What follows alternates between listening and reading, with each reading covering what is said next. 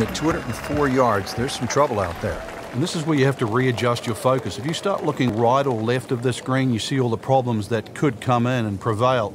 Instead, just look at that front bunker. Try and fly, fly your tee shot over that, somewhere around the front edge of the green, maybe three or four yards on, and then the hole becomes that much easier.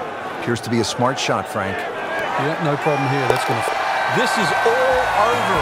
Uh, dude, that, he just made an ace.